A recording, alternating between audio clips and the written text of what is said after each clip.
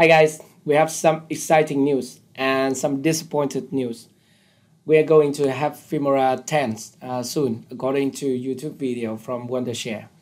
So they are going to release the, the new upgrade of our Filmora video editor, and it is Filmora, uh, Filmora 10, so not Filmora 9 anymore. And there are three new features, and uh, one of them is what uh, we are looking, uh, we are expecting from the from from them, that is motion tracking. But the other the other feature, the other new feature is a little bit disappointed. Uh, I can see from the video one is audio ducking. So uh, what it was, uh, it is um, it will load down the the background music uh, when the when the speaker talk uh, in front of the camera. So it it kind of similar to audio keyframe and I don't I don't think we really need that because we are making video, not uh, making educational video. And uh, the second second uh, second feature is the color matching. So I'm a little bit disappointed with this new feature because you know that uh, the color grading tools in Filmora 9 is also is um, I think is good when it comes to uh, basic color grading, for example, increasing the uh, saturation, brightness, and uh, highlight and shadow, and also HSL.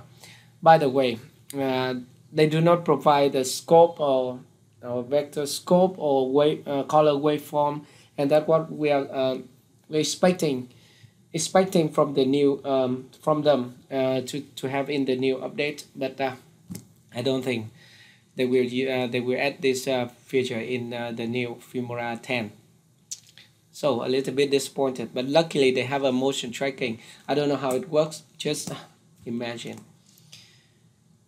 I hope it, it works well and so we we have more tools more great tools in Filmora 10 okay? So if you uh, you watch have not watched uh, their video I will put the link in the in the description. Just what their latest video from Wondershare you will see that uh, here is a video. And hello JJ yeah. And uh, starting from here it is new eras of Filmora Filmora is Filmora 10 so we can see easily see this this is the first point. So you can see that here we have a motion tracking on this position. And they also add the motion tracking button on top of the timeline. So there's two two two places for the motion tracking and here. So this is a tracking object. So maybe we can adjust the size the size of the the, um, the size of the rectangular. So we can uh, uh, show uh, we can tell the program where we should uh, it should track okay? So that is about the motion tracking. And for this one this is for the audio ducking. So you see that uh, we can lower the volume of other clips and increase by uh, increase or reduce by percentage here.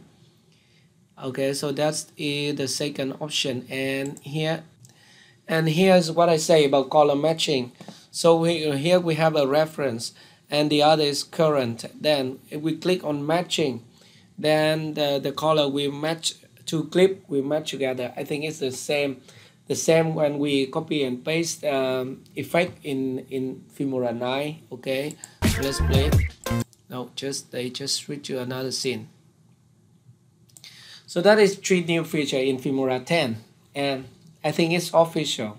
But uh, yeah we should wait until the the new Filmora is released. And I hope they give up give us a free upgrade to our from Filmora 9 to Filmora 10 okay? So if you have any more news let me know in the comment section below. Thank you very much for watching and I will see you in my next video. Bye